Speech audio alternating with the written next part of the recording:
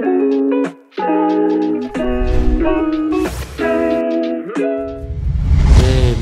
es el aeropuerto, pero ya ahora es el tren Maya.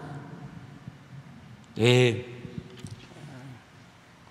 convencen o contratan a artistas, a pseudoambientalistas, supuestamente preocupados por eh, la defensa del medio ambiente y empiezan una campaña contra del tren Maya.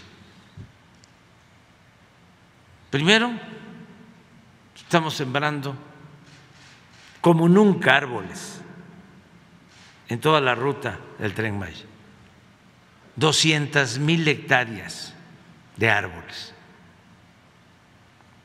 Y la brecha que se está eh, abriendo para un tramo de 50 kilómetros es el equivalente a 100 hectáreas. Y estamos sembrando 200 mil.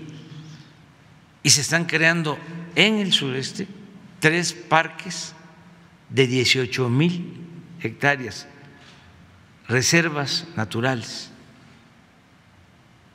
Allí en Tulum, un parque de más de mil hectáreas, el Parque del Jaguar. Se va a ampliar la reserva natural de Calakmul y en la zona arqueológica de Uxmal, 2.200 hectáreas de reserva.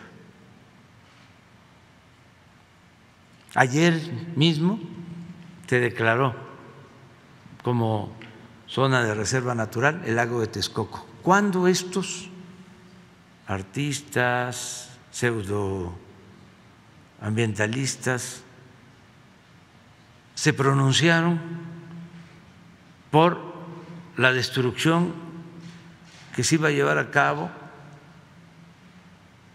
del lago de Texcoco. ¿Cuándo? Estamos hablando del lago con más historia, que es el origen de México, Tenochtitlan. ¿Cuándo dijeron algo? Nunca. Nada. ¿Cuándo dijeron algo?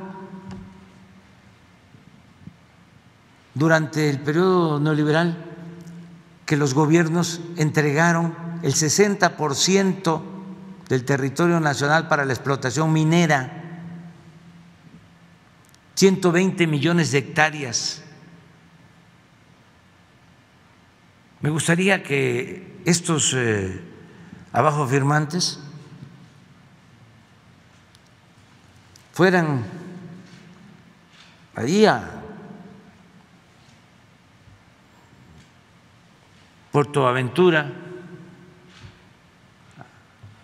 a Escarec, a Calica, una empresa estadounidense que obtuvo permiso para extraer materiales de construcción, un banco de materiales de construcción a 500 mil metros del Mar Caribe. Es una campaña en contra, porque son muy conservadores, son fifís